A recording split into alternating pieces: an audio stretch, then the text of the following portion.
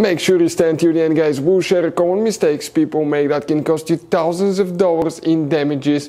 Stay with us, we'll explain what we're talking about.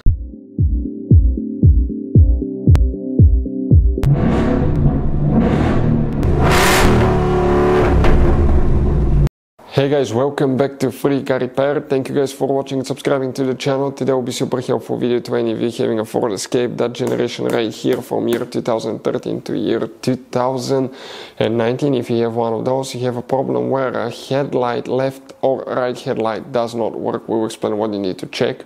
It could be of course the bulb, but if that doesn't fix the problem, what else we see here in the garage and why in some cases you may need a scanner to fix that. We'll talk about that, where you can buy cheap parts, tools, fuses, relays at a good price, quick shipping, that way do not waste money and time, and why it's always a good idea to test fuses and relays. All that will be covered absolutely free for your convenience. Make sure to stay until the end. So before we start, let us tell a little bit about us guys. If you have that generation Ford Escape from year 2013 to 2019, this specifically is pre-facelifted version, this is the facelifted version. There will be some minor differences, we'll talk about that, but we'll make a video about every single possible fuse, relay, why we do that. Let's say guys, you're down the road in the middle of nowhere, you need to find where the fuse for fuel pump or engine starter is located, or relay for radiator fan, you can just search that on our channel, watch the video for less than one or two minutes, find out where it is, replace it in your back on the road. We do that to save you money guys. Every single car we get here at the garage, we try to make at least two to 300 free repair videos. Why we guys do that? Because our mission here at the shop is to save you as much money as we can. And we guys have more than 12,000 free repair videos on our YouTube channels as well that can save you more than thousands of dollars in future repairs.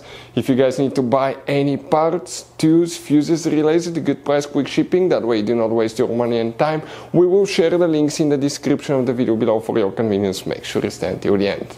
So guys, if left or right headlight does not work, what you need to check, we will demonstrate on that generation Ford Escape right here.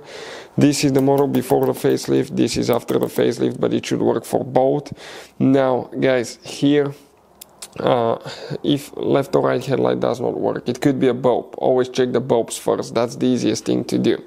Make sure the bulb is connected all the way because some people will not be able to see behind the headlight and they didn't install them correctly. If everything's good, what you need to do? Check the connector for the headlight, the wire. Sometimes it could be loose or it could be exposed to humidity and have some corrosion buildup, especially if you live up north or in more humid climate. Next, you need to open the hood. If you open the hood now, guys, uh, here, okay, on the driver's side, you have that fuse box. Open that cover and you'll find a fuse box with a layout like this one. Before we continue, let's explain quickly why it's always a good idea to test fuses and relays.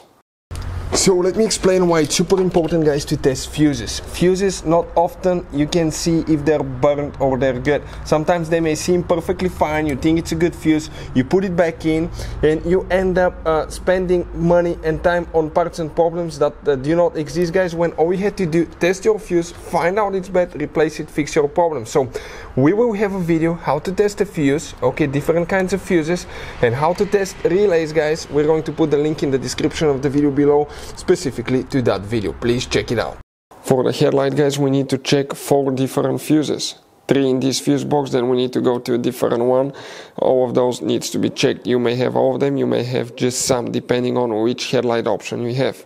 Oh, and by the way, if you need to buy any fuses, relays, parts, tools at a good price, quick shipping, that way you do not waste money and time, we're going to put a link in the description of the video below. Check it out, that way you do not waste money and time.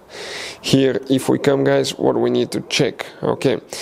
We're going to come in that section right here. If we zoom in, we need to check fuse number 39 right here and that's fuse number 42 43 you may have that fuse 39 43 you need to check guys fuse number 24 it will be in that lower section here so that's 2021 that's 24 that 5m fuse here Next, you need to open the passenger door here on the passenger side under the dash. If you look upside down on the bottom of the dash, we have one soft carpet liner attaches with two turning knobs. Unscrew them, pull that carpet liner down, and you have a hidden fuse box that looks like this one.